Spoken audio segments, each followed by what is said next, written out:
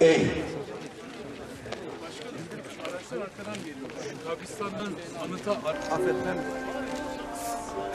Şey, Ayşe yavrusu.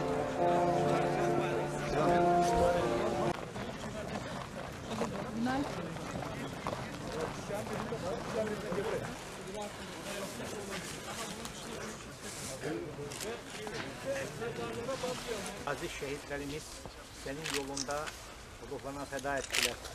Sen de ruhlarına şad eyle ya Rabbi. Ya Rabbel Alemin. Bu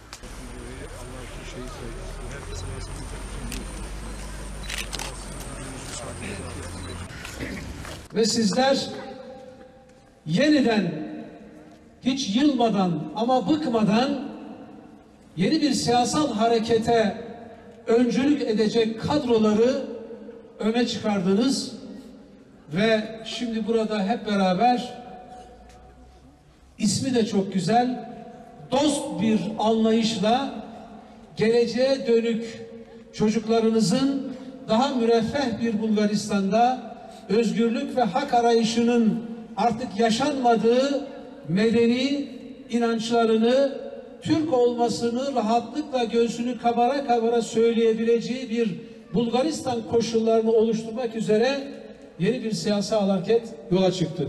Bugün Recep Tayyip Erdoğan'ın Türkiye'si burada bir soydaşımızın parmağı kanasa bizim yüreğimiz acır ve ona kayıtsız kalmaz. Her ne yapmak gerekiyorsa onu yapmak için yola çıkar, koşar, bağırır, haykırırız.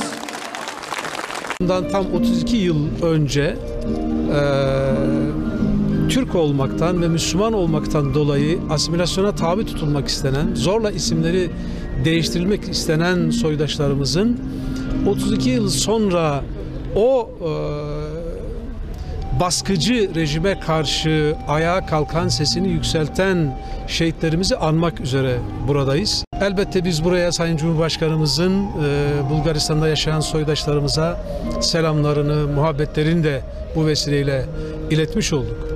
Ben eminim e, gerek Türkiye-Bulgaristan arasındaki ilişkilerle gerek e, burada yaşayan soydaşlarımızın meseleleri ve sorunlarıyla ilgili olarak burada bir siyasi temsil e, anlamında özellikle DOS Partisi'nin e, yakın gelecekte ki muhtemel bir Nisan'da Bulgaristan'da seçimler öngörülüyor.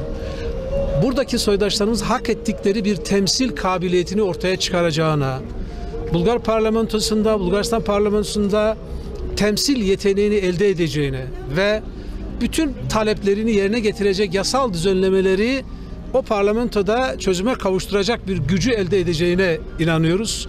E, bu anlamda da bugün özellikle anma programlarında bunu gördük. Biz de onların yanında olduğumuzu bu vesileyle bir kere daha ifade ediyoruz.